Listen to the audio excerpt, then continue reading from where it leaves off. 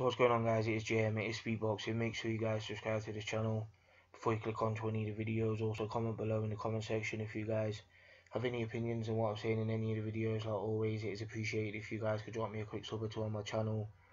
So before the big super fight on Saturday night between Canelo Alvarez and Gennady Golovkin over in the States, Frank Warren will be putting on a show in the UK on Box Nation and it's at the Copper Box Arena and headlining is WBO middleweight champion Billy Joe Saunders he is the only other middleweight champion outside of the Canelo Golovkin fight, and he'll be defending on Saturday night on the same night. So all the middleweight titles in the division will be defended in one night, and he'll be defending against um, former world title challenger and slick, tricky southpaw Willie Monroe Jr. And I think this is a very intriguing fight.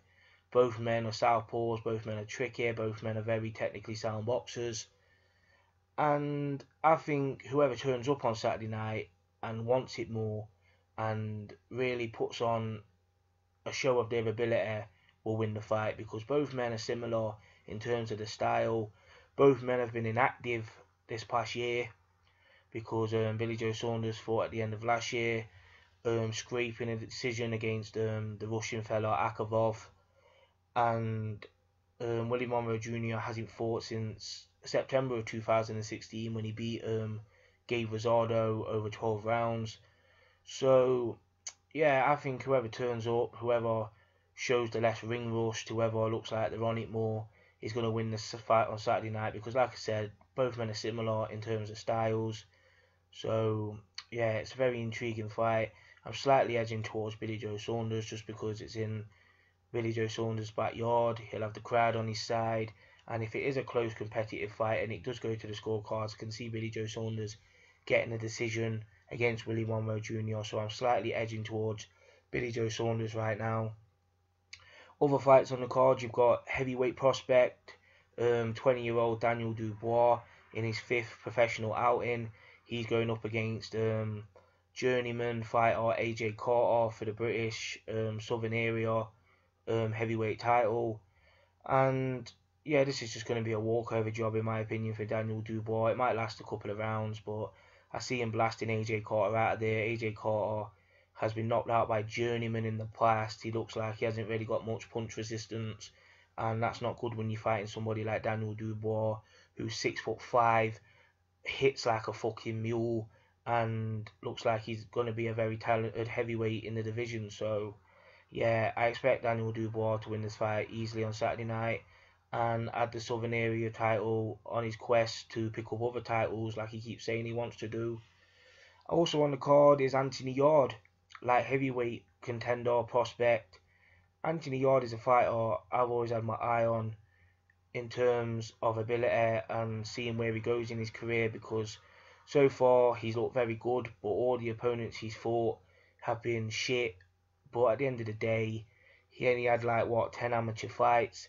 He's only had about what 12 fights as a professional, so obviously they're guiding him slowly through his career, and he's making some sort of a step up on Saturday night because he's facing a fella called um, Norbert Nemesapati or something like that, Hungarian fighter, and it's for the vacant WBO Intercontinental Light Heavyweight title. He's ranked what number seven with the WBO Anthony Yarde. so they're moving him on nicely. Frank Warren is good at moving his fighters on um, and guiding their careers quite well. And Anthony Yarde, even though he hasn't had many fights, he looks like quite a polished fighter. And his punch power is ridiculous. He does have massive punch power. And his trainer, um, Tunde Ajayi, looks like he's done very well with him so far. And it'll be interesting to see how far he can go with such um, limited um, amateur background and because he hasn't been boxing that long but obviously he's learning on the job, and so far he's looking well. But obviously his level of opponent has been very, very poor. He could have fought a British title eliminator against Hosea Burton, but his um, promoter Frank Warren didn't want that fight. They just wanted the straight shot at Frank Buglioni, the British light heavyweight champion. But obviously that weren't going to happen, so he's here against um, Norbert Nemesapati, who's been in there with the likes of Callum Smith and Anthony Dirrell was stopped in both of them fights. But yeah, it's a little bit of a step up for Anthony Yarde, I expect him to win the fight with ease and obviously carry on moving forward in his career. So yeah, decent card on Saturday night. You've got um, other guys like Joe Pigford and Lucien Reid, who are other prospects in British boxing. They're fighting as well. So, yeah, looks like it could be a decent card, some good domestic fights. And um, Billy Joe Saunders against William Monroe Jr. So, it's a nice little warm up before we get to the big um, super fight over in the States. So, yeah, good night of boxing on Saturday night. I look forward to it. JM Speak Boxing.